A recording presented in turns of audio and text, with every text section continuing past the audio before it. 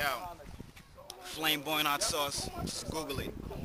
It's like when approach a device which I used to write. Sentences involved to the request of the mic. At this moment I'm in search for the next line. Rather than fast make sure I perceive every time. Somebody tell me when it became cool to be considered MC while appearing all fool. Self-proclaimed street poet with lack of substance. Overnight celebrity. Out of the blue. It's a sad situation. Makes me want to play the saxophone only to pour out my blues. But I remain tremendously cool to the point I'm stagnated, contemplating with the right side of my brain on the move, exercise or daydream, one of the two. Wait, let me just grab one of my tools to construct a sequel of the ever-ending stanza with a permanence of base esperanza. Still in search for some answers. Like, would there be servitude if it wasn't for the early civilization of Jericho? Maybe an outthought strategy by some fag-ass malicious pharaohs. Whoa.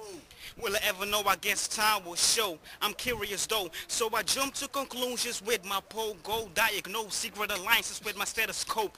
Yo, aiming for the antidote. Yeah, but I left it alone to avoid suctions that draws me in a zone. Got my mind blown away. Eventually I straight gotta gain focus, starting with a clean slate again. Major man, flame flamboyant hot sauce, black glove. Google it.